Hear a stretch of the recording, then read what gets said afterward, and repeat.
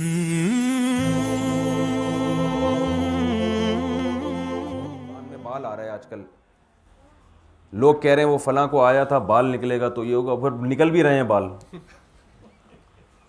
किताबें जितनी भी जो ज़्यादा पढ़ी जाती हैं ना, उनमें बाल लाजमी होते हैं, क्योंकि बहुत लोग पढ़ते हैं तो किसी न किसी का बाल उसमें गिरता है। अब आप देखें, होटलों में सर पे कैप पहनाते हैं ना, कुकर के क्या कहते हैं उसको? कुक कहते हैं? जो भी बावर्ची, सादा देसी ज़बान में। उसके सर पे क्या होता है?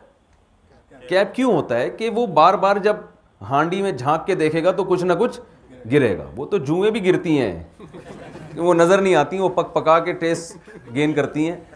बाल नज़र आते हैं तो फिर ज़ाहिर है खाने में बाल निकल आए तो वो होटल बंद होने का ख़तरा होता है।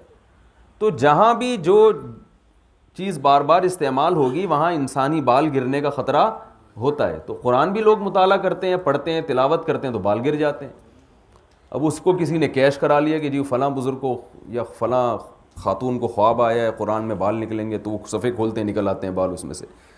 तो इन चीज़ों में बिल्कुल ना पढ़ा करें, टाइम वेस्टिंग है। कुछ भी नहीं है इससे।